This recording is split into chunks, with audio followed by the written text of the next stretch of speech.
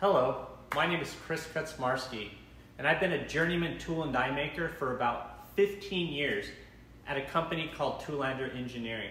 And today I'm going to share with you seven skills in my experience that it takes to be a complete tool and die maker with a focus on building precision stamping dies because that's what we do here. Skill number one, operating machines. Here at Toolander Engineering, we build precision stamping dies. And to build these dies, we need a unique set of machines. Each one of these machines is critical in the process of building and maintaining these dies. These stamping dies have so many unique components, and these components have to be made in different ways, with different tolerances, in different sizes, in different shapes, in different surface finishes, so on and so forth.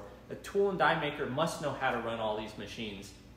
If he doesn't, he's like a construction worker trying to build an entire house with just a hammer and nail. It just wouldn't work very well. It would be a, it would be a complete disaster. Now these are some of the machines a tool and die maker would use. Surface grinders remove very small amounts of metal, producing a very accurate and smooth finish.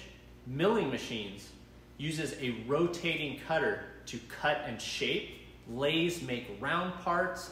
Drill presses force a rotating drill into metal, making a hole. And then you have some specialty machines like EDM machines that send a pulse of electricity through a piece of wire.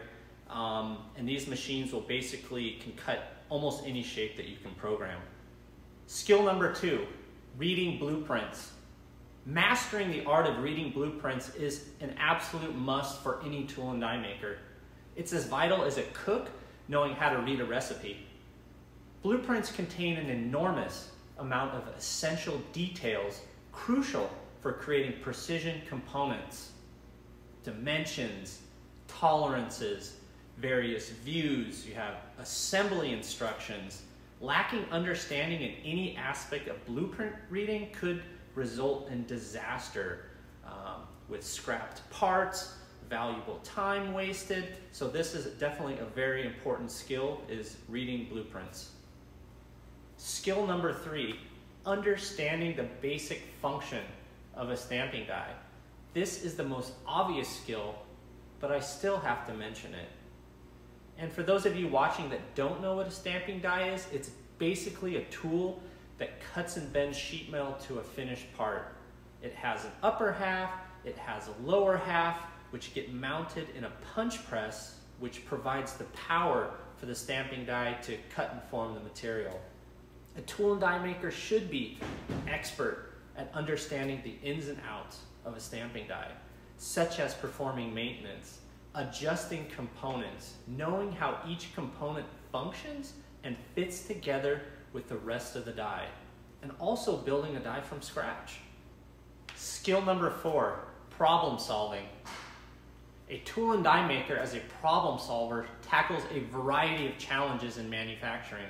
These may include resolving issues with machine setups, troubleshooting errors in the production process, ensuring dimensions are all within proper tolerances, enhancing tool efficiency, and minimizing material waste.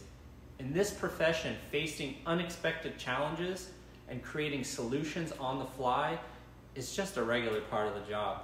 So problem solving is super important for a tool and die maker. Skill number five, attention to detail.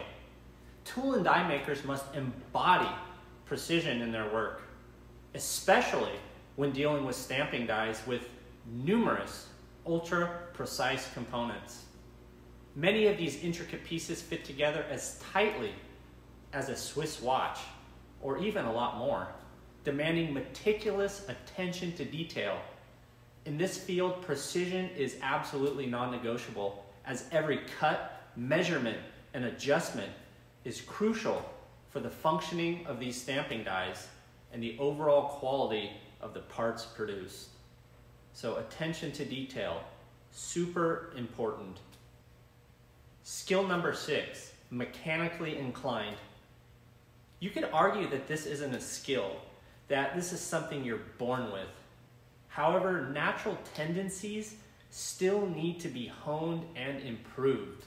Having a natural understanding of how to take things apart and put them back together is extremely important in this field.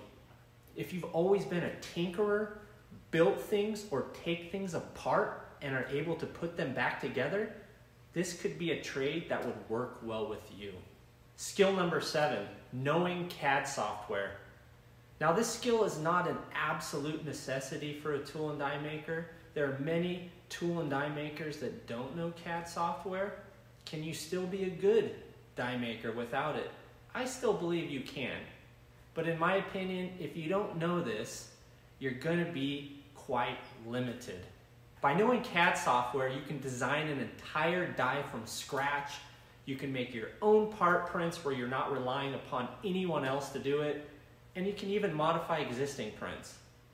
Again, can you still be a good tool and die maker without this? Yes, but in my opinion, you're going to be quite limited without this skill. Now, if you made it to the end of this video, thank you so much. If anyone is watching out there needs help designing a new part, we can help you with that. We can help build automated equipment. We can do staking, riveting, assembly, tapping, many other secondary operations, and of course, build you a very nice precision metal stamping die or answer any question that you might have. We would love to talk with anybody. We would love to help you guys meet all of your needs. Thank you again so much for watching. See you in the next video. Peace out.